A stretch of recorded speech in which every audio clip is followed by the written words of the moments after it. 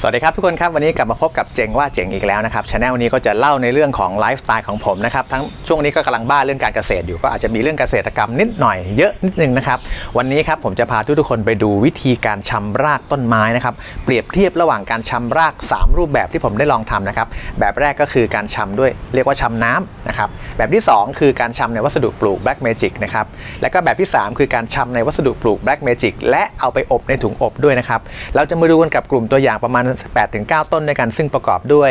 Epi ด่างขาวด่างเหลืองนะครับ Cebu Blue แล้วก็เงินไหลมาด่างนะครับ แล้วก็ Burle Marx ด่างนะครับ เดี๋ยวจะลองดูว่า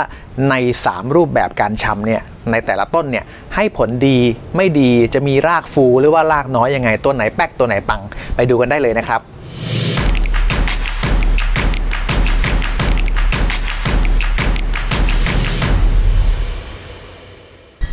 แต่ก่อนอื่นนะครับอย่าลืมนะครับกด subscribe เพื่อเป็นกำลังใจในการทำคลิปต่อๆไปของเจงว่าเจ๋งด้วยนะครับอีหมานี่แม่งก็เห่าจริงเลยเว้ยเอาละเรามาดูวิธีการชำนะครับสามรูปแบบนะครับววิธีการชำรูปแบบแรกที่ผมได้ลองก็ทั่ว ๆ ไปนะครับ ที่เราเห็นรุ่นพ่อรุ่นแม่เราทำกันมานะก็คือการชำน้ำนะครับ การชำน้ำก็จะเห็นบ่อยๆ ในพวกครูด่างนะเขาบอกว่าตัดแล้วก็ไปแช่น้ำเดี๋ยวมันก็ขึ้นเองละลูกอ่านี่นะครับนี่คือ ชำน้ำนะเราวิธีการก็คือตัดกิ่ง แล้วก็แช่ไว้ในแก้วน้ำหรือในถาดน้ำก็ได้นะครับ นี่ถ้าแช่ในถาดน้ำก็เป็นอย่างนี้ครับผมแช่ไว้ในถาดน้ำเลย ส่วนเบอร์มาร์กพวกนี้ผมแช่ไว้ในแก้วนะครับเนี่ยจะเห็นแก้วเล็ก ๆ อยู่วางอยู่ในหลุมเนาะส่วนวิธีที่ 2 ก็คือผมผสมวัสดุปลูกนะครับ ซึ่งประกอบด้วย Black Magic เป็นหลักนะครับ แล้วก็ใส่เพอร์ไลท์เพิ่มเข้าไปนะฮะ แล้วก็เอาเจ้ากิ่งเนี่ยเสียบเข้าไปนะครับ เสียบเข้าไปในแก้วแบบนี้เลยนะครับ วางไว้ข้างนอกอย่างนี้ แล้วก็รดน้ำทุกวันตอนเช้า อันนี้คือแบบที่ 2 นะ ส่วนแบบที่ 3 คือแบบที่เป็นที่นิยมนะครับ ก็คือการอ่านำกระถางที่เราปักกิ่งไว้แล้วเนี่ยเข้าสู่กระบวนการควบแน่นหรือเราเรียกกันว่าเอาไปอบนะฮะก็อาจจะไปอบในถุงแบบนี้นะครับ หรือ อบในภาชนะที่เป็นสูญญากาศลักษณะนี้นะครับ ผมทำสามแบบด้วยกัน เดี๋ยวมาดูกันว่าผลของมันแต่ละแบบเป็นยังไงบ้างนะครับ อ้าวมาเริ่มกันที่อีพิด่างเหลืองเป็นต้นแรกนะครับ ผู้เข้าแข่งขันคนที่หนึ่งก็คือEpi ด่างเหลืองที่อยู่ในถ้วยน้ำนะครับนี่คือการชำน้ำนะครับ เดี๋ยวมาดูใกล้ๆอีกทีหนึ่งนะครับ นี่คือหมายเลขหนึ่งนะ หมายเลข 2 คือ Epi ด่างเหลืองที่ชำอยู่ใน แก้ว ซึ่งใส่วัสดุปลูก Black Magic แล้วก็เพอร์ไลท์เอาไว้นะครับ วางไว้ด้านนอกรดน้ำทุกเช้านะครับ แล้วก็ผู้เข้าแข่งขัน หมายเลข 3 คือ Epi ด่างเหลืองที่อยู่ใน ถังอบ อยู่ใน Tupperware Super Lock ที่อบไว้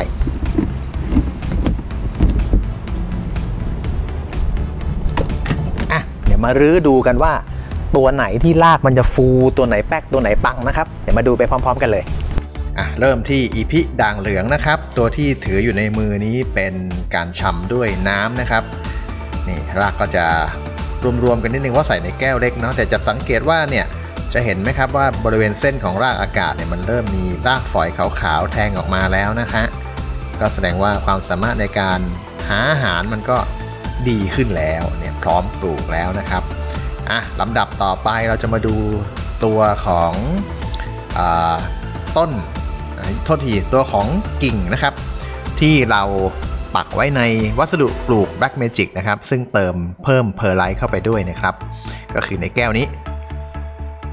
อะเดี๋ยวให้ดูก่อนนะครับ ด้านข้างเห็นไหมรากวิ่งมาถึงด้านข้างของแก้วนะครับ แล้วก็เดินทางต่อไปเรื่อยๆนะ นะครับ สวยงามเลยเห็นแล้วก็ชื่นใจเลยทีเดียวนะครับ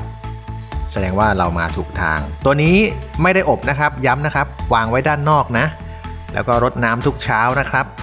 ไม่ได้อบเลยนะรดน้ำทุกเช้า วางไว้ด้านนอก อากาศปกติเลยนะครับอะเดี๋ยวดูรากกันมารื้อกันมารื้อกันเทออกมาก่อน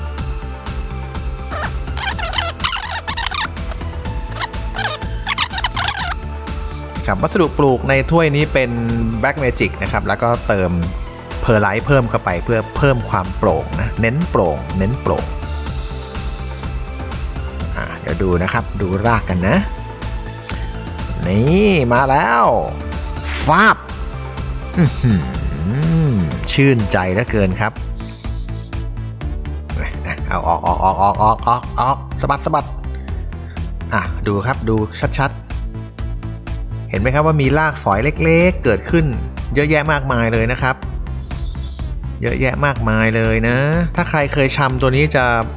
เข้าใจดีว่าตอนที่เราตัดข้อมาเนี่ยมันจะมีอย่างมากก็มีรากอากาศยาวมาสักไม่เยอะนะครับ เส้นเดียว แต่ทีนี้หลังจากผ่านการชำในวัสดุปลูก 14 วันผ่านไปนะครับ โดยไม่อบนะครับ แก้วนี้ไม่ได้อบนะ นี่คือ ผลของมันนะครับ นี่คือผลของมัน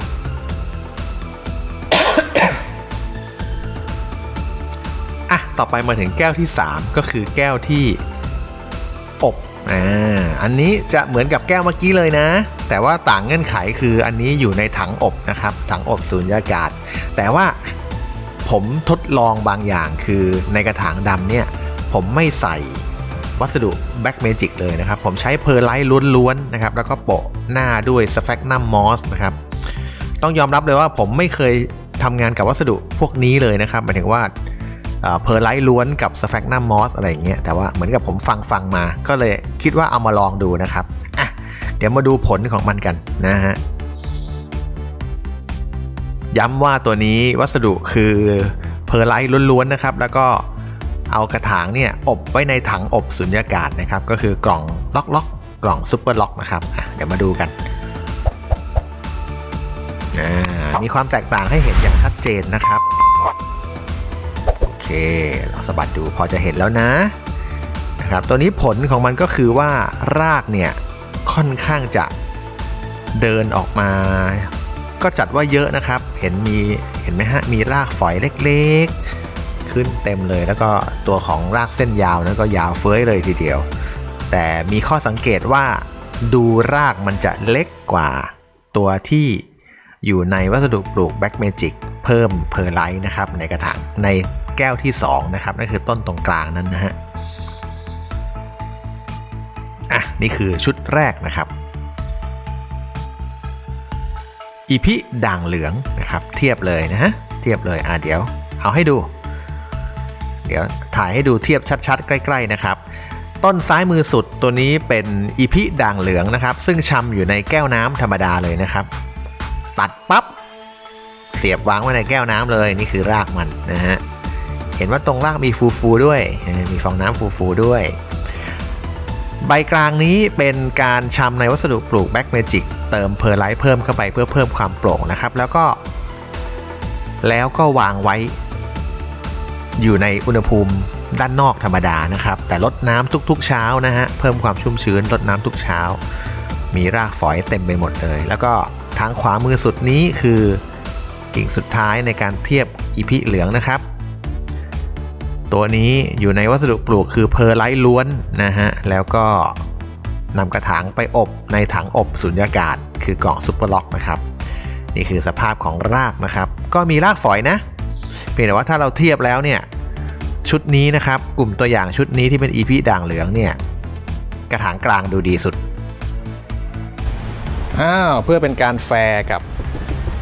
การเพาะในวัสดุปลูกแล้วใส่ในกระบะในถังอบนะครับ ผมก็เลยเอาอีกกระถางหนึ่งนะครับ ที่วัสดุปลูกเหมือนกันกับนอกถังอบนะ ก็คือเป็น Black Magic กับเพอร์ไลท์ผสมกันนะครับอะเดี๋ยวมาดู ดูว่ารากจะดีไหมถ้าอยู่ในถังอบนะครับ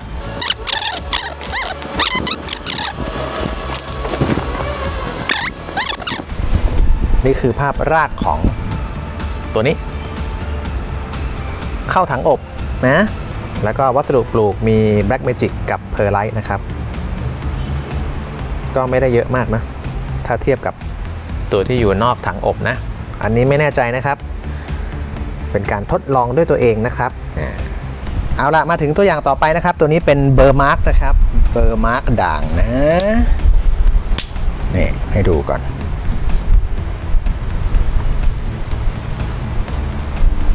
โอเค ไล่เรียงมาเลยนะครับ ตัวนี้ ชำด้วยน้ำนะครับ นี่จะเห็นว่าแช่อยู่ในถ้วยน้ำนะครับ ตัวนี้ชำด้วยวัสดุปลูกนะครับ Black Magic นะครับแล้วก็เติมเพอร์ไลท์เพิ่มเข้าไปเพิ่มความโปร่งนะครับ ตัวนี้วางอยู่ด้านนอกรดน้ำทุกเช้านะครับ และตัวริมสุดนี้ เป็นวัสดุปลูกก็คือเป็น Black Magic นะครับแล้วก็เติมเพอร์ไลท์เข้าไปนะครับ เหมือนกันกับอันนี้แต่ต่างคือถ้วยขวามือนี้ผมไว้ใน ถังอบนะครับ เข้าสู่ระบบควบแน่น อบแน่นนะอบควบแน่นนี่อะเดี๋ยวมาดูกันว่า ใครจะรากฟูใครจะรากน้อยกว่ากันนะครับอะมาเริ่มจากตัวที่ชำน้ำก่อนนะ ยกขึ้นมาโลดนี่นี่คือรากที่ได้จากการชำน้ำนะครับ เห็นไหมนี่นี่รากมัน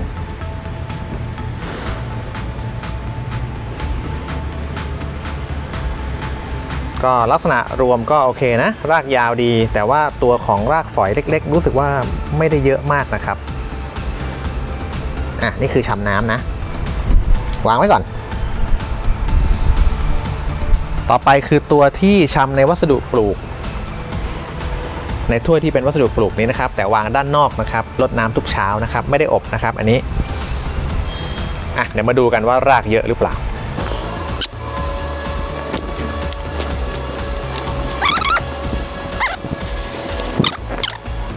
วัสดุปลูกเป็น Black Magic นะครับ ใส่เพอร์ไลท์เพิ่มเข้าไป แล้วก็วางด้านนอกนะแล้วรดน้ำทุกเช้านะครับ ไม่ได้อบนะครับ ย้ำว่าตัวนี้ไม่ได้อบนะครับ ตัวนี้คือเบอร์มาร์กตัวสุดท้าย คืออันนี้ ตัวนี้อบนะครับ ตัวนี้เพิ่มเงื่อนไขก็คืออบด้วยนะครับอะมาดูกัน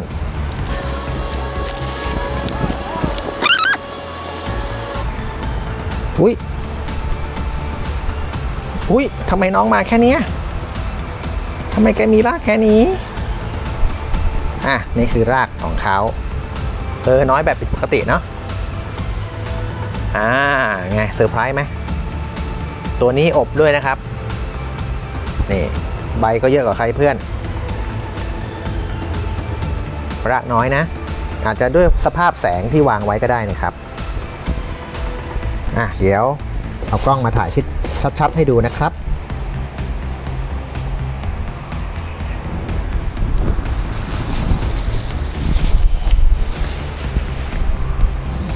นี่ไล่จากซ้ายไปขวานะครับ อันนี้ชำน้ำนะครับ ลากยาวเฟื้อยกว่าใครเพื่อนนะ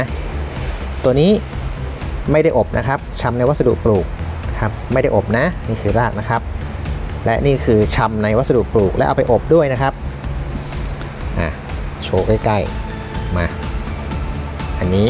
ชำน้ำนะครับ อันนี้ชำวัสดุปลูกนะครับ ไม่อบนะครับ ตัวนี้ไม่อบนะครับ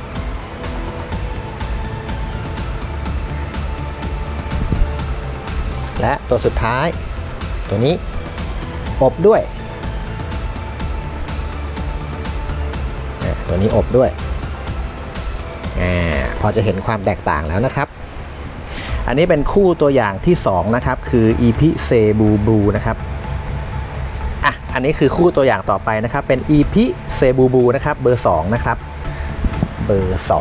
2 นี่ทางซ้ายมือที่ผมจับอยู่นี้เป็นการชำน้ำนะครับนี่ดูรากของการชำน้ำแช่อยู่ในถ้วยน้ำเฉยๆนะครับ ก็ถือว่ารากเยอะดีนะอ่าโอเคทางขวามือนี่คือการชำอยู่ในถุงอบนะครับ ใส่อยู่ในวัสดุปลูก Black Magic นะครับ แล้วก็ใส่ในถุงอบนะนี่ตามสูตรเลยนี่นี่คือรากที่ได้มานะครับ จะสังเกตว่ารากออกยาว แต่ว่าไม่แตกย่อยแขนงเนาะนะครับเอออันนี้ไม่รู้เหมือนกันนะอะอีกคู่ตัวอย่างหนึ่งนะครับก็คือเงินไหลมาด่างขาวนะครับสองต้นนี้นี่สองต้นนี้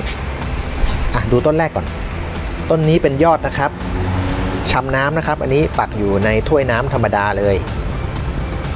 นี่ก็คือรากนะครับของการชำน้ำก็สังเกตว่าคล้ายๆ กันกับตัวของเซบูบูเมื่อกี้นะครับเออนะมีรากแขนงเล็กๆ อยู่บ้างนะฮะครับส่วนรากอากาศของข้อนี้ก็โตดีทีเดียว ผมใส่น้ำไปประมาณแค่ทางแยกนี้เท่านั้นเองนะครับ ทีนี้ตรงนี้คือ ใส่วัสดุปลูกเป็น Black Magic แล้วก็เติม เพอร์ไลท์เข้าไปนะครับ แล้วก็วางไว้ด้านนอก ไม่ได้อบนะครับ ย้ำว่าไม่ได้อบนะ วางไว้ด้านนอกนะครับ แล้วก็รดน้ำทุกเช้า นี่คือรากของเขาครับ ยาวเฟ้ยเลย ยาวเฟ้ยเลย แล้วมีรากแขนงแตกออกมาด้วยนะครับอืมนะแล้วก็แทงยอดใหม่ด้วยเรียบร้อย โอเค